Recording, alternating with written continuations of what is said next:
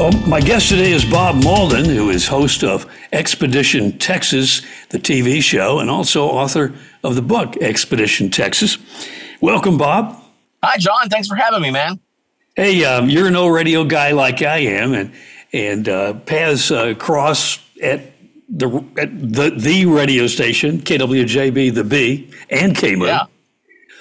Yeah. Well, you know, we're celebrating the 60th year of both KMOO and KWJB this year. 60 years of broadcasting. I know you don't go back that far, but you go back. Only about half of that, surprisingly, and, and it makes me feel old. Uh, but but uh, yeah, so when KMOO uh, had sold the AM license to Canton and it moved there, uh, two gentlemen by the name of Lloyd Shin and Bill Bone, yeah. a convenience store owner and a dentist, mind you, yeah. uh, were the owners of the radio station at that time. And I uh, harassed them until they gave me a job. Uh, I was 15, 16 years old at the time. As soon as I turned 16 and could drive myself to work, they finally gave me a job. And incidentally, I got my very first job in radio because I was the only person in the building at the time. I had stopped by and was visiting with the GM at the time, a man by the name of Bill Pirtle, who has uh, since passed away. Um, and and I was there, and I was uh, I was asking for a job yet again, as I had done many times in the past, and they had just installed their new computers up front for the traffic and billing uh, office. Yeah. And he couldn't figure out what was wrong with it, and so I uh, he said, "Can can you figure out what's what the problem with this computer is?" And I looked behind it, and then I looked down at the uh, the power strip behind it, and it wasn't plugged in. So I plugged it in, and hence got a job in radio. great, great story. and so I was in radio from the time I was 16 until about 10 or 11 years ago when when things in, in as far as east texas radio kind of dried yeah. up and i decided to, to pursue other avenues which led me into tv and then subsequently expedition texas yeah well we still have an occasional computer problem so i know who to call now so. if you ever need it plugged in or powered up yeah. you know who to call right yeah yeah exactly well expedition texas uh, tv show you've been doing for how long uh, we are in our 12th year at the moment. So we're wow. when this fall, when we come on the air, it will be 12 years we've been doing this. Wow, wow, wow! You're you're uh, poking around uh, ghost towns and uh, oh yeah, obscure places around Texas. Uh, tell us a little bit about your well expedition Texas and your motivation behind it. Well, I think we've all driven by that old abandoned building or driven through a ghost town and thought, man, if these walls could talk. And with Expedition Texas, they do. Um, yeah. That's the whole point behind the show is we like to take the viewers places they wouldn't otherwise be able to go, and not just for the point of urban exploration, which is kind of a big thing online if you follow YouTube channels and things yeah. like that, where they go explore abandoned buildings. We wanted to do that, but we also wanted to take it beyond that, and we wanted to focus on the story of these places. I mean, everyone knows the history of the Alamo, but what about the other Spanish missions that were located around San Antonio? You know, yeah. there are places like this all over our great state, and we could literally do this for decades to come and never run out of subject matter because yeah. lost history is always all around us in Texas and all over the United States. Yeah, yeah. Well, and you have um, compiled some of those stories in a written form in your book, Expedition Texas, uh, which I happen to have right here. So ah, love it. Tales from the road, right yeah. there. Um, uh, tell me, you know, I've, I've, it's a great read. By the way, I recommend it. It's uh, you've got various various stories in here. One here on the Baker Hotel. Oh yeah, has a yeah.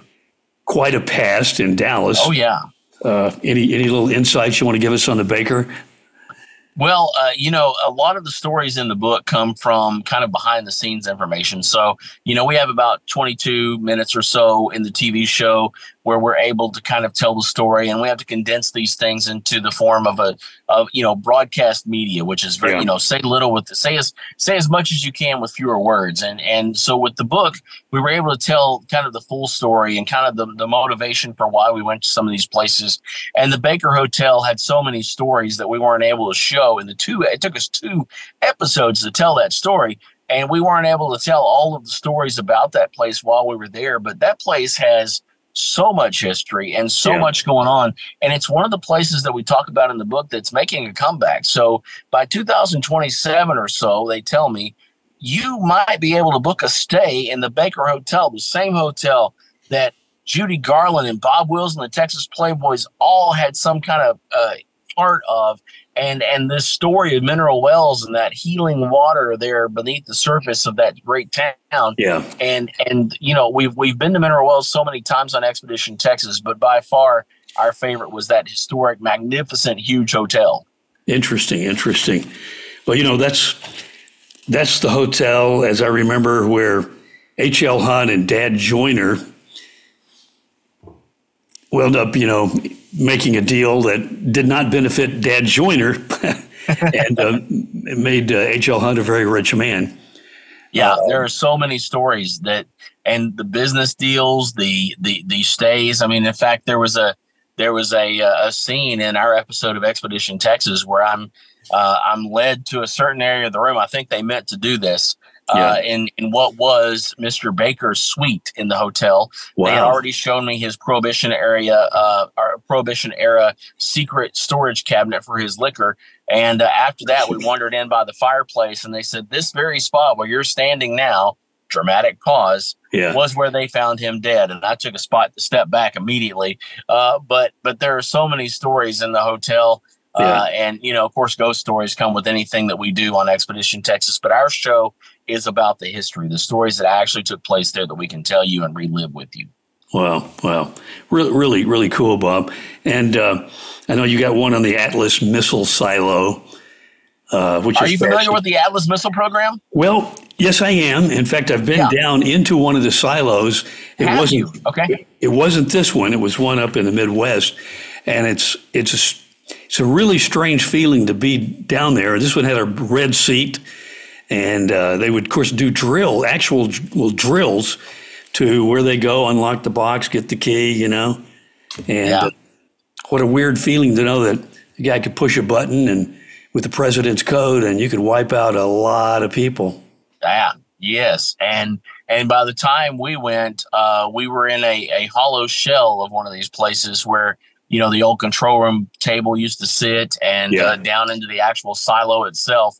And the gentleman that showed us the one near Lawn, Texas, where we went, he had lowered a a small uh, Bassmaster boat down into the silo as the groundwater was filling, and he would go and he would uh, manage his way down and and sit in this boat alone in this cavernous place where the where the echo goes on forever, Yeah, and sit by himself sometime. And I thought, man, what a place to reflect.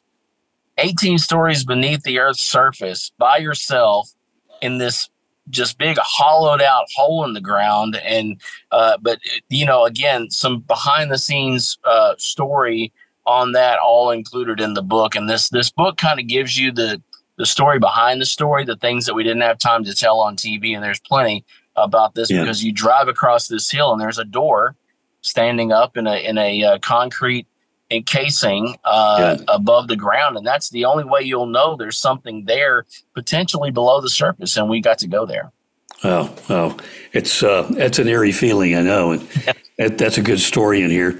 Uh, you also talk about the Amarillo train station, and is Sure. there any any other highlights you would like to pass along about the book? Uh, Well, I, I think one of the things that that's my favorite to tell is kind of the origin story of the show, um, because uh, you know it started off where I thought, well, I kind of uh, you know I've kind of done everything I wanted to do in radio, and I wanted to kind of do this thing where we tell stories of people in East Texas or whatever, Yeah. and I Yeah. and and the more I thought about that idea, I thought, well, people have already done that. That's already been done. Uh, you know, Bob Phillips does it with Texas Country Reporter all over the state. right. Uh, that's been done very, very well by great people who've already told these kinds of stories. And, you know, here in East Texas, we have Joan Hallmark, who was doing the same thing on KLTV 7. And I thought, you know, that's already been done. And so I sort of went back to the drawing board. And it was one day I was on a hike with my kids, and we, we followed this creek to the old spillway of Bellwood Lake in Tyler, which not only was the source of water up until 1953 in the city Yeah. of Tyler, but it was also the recreational lake. It was the lake in Tyler. And yeah. we stumbled upon a closed off area that the city had barricaded decades before, where there were these old WPA stone fire pits and picnic tables and all this stuff. Yeah. And it was all buried under just years and years of debris, trees falling down and things like that. And uh, on the hike back, the whole way back, I kept thinking, man, wouldn't it be great to go and find places like that, abandoned, lost history, which that was a minor, minor piece of history compared to some of the other stories we told, yeah. and tell these kinds of stories and take people to these places they wouldn't otherwise be able to see. Yeah. And that's what became the mission. That's what became the idea behind Expedition Texas is to tell these stories of lost history and take the viewers places they otherwise wouldn't be able to see. And that's what set us apart. That's why we're able now to be on beside Bob Phillips and Texas Country Reporters because we're doing that type of show. We're telling a type of story that nobody's told before on yeah. TV. And I'm very excited about still to this day what we do with Expedition Texas. Very cool, Bob. Very cool. So, how, how can people find your book? Well, uh, I, I, have been told to say by the publisher that it's available anywhere you buy books, which includes okay. all Amazon and Barnes and Noble and all those places. Uh, a lot of retailers are carrying it in the stores now, which is kind of exciting to wander through the book aisle and see the book on the shelf there. But if you don't find it in your local retailer, they can get it. Arcadia Publishing and History Press, they have book, books available with any uh, any book distributor that uh, a book retailer that you uh, can think of out there they can yeah. get the book for you uh, and if you can't find it there you can get it online uh, and, and, and, we do have a limited quantity that we uh, that we purchase to put into our store uh, where we can do autograph copies if anybody wants one personalized we can do that but that's but again, online you can get you can yes and you can get them anywhere okay. but you can visit expedition texas TV. Uh, you can either get the books right there from us, or uh, any of those other retailers, Amazon, of course, Barnes and Noble, any of the book okay. retailers you can think of out there. And that's expeditiontexas dot TV. TV. Okay. Yeah. We All have right, one of those funny TV uh, exp- uh, ex- extensions on our website. So yeah, we're yeah. expeditiontexas.tv, so it's easy to remember. Hey, well, uh, good luck to you. I appreciate what you're doing. And we old radio guys got to stick together. So, yeah, John. Well, thank you. And thanks for uh, just to everybody out there who, uh, you know, helped me share the first 30 years of my career uh, doing radio. And, and I'm very excited about what's to come. But thanks for letting me uh, come back on here and, and talk to some of my friends in Canton and Mineola and all around uh, about what we're doing now. I really appreciate it. Yeah, yeah, we're glad to do it, and uh, we'll have to have you back. Appreciate you helping celebrate uh, 60 years of broadcasting for KMOO and KWJB. KWJB AM is the original KMOO AM, so yeah. that's how it all goes together. And right, uh, yeah, we'll have to have to have you on, on again. Uh, yeah, as we we keep we keep plugging. So and we somewhere are back in the archives, I have some of those first uh, first air checks from back in the day, and they're not very good. Oh, I'd love to hear him though. I'd love to hear him. well, we are we are Nielsen rated number one in our awesome. listening area, so that's that's pretty cool. We're proud of that. That's amazing. Yeah. Good luck to you, Bob. Thank you, sir.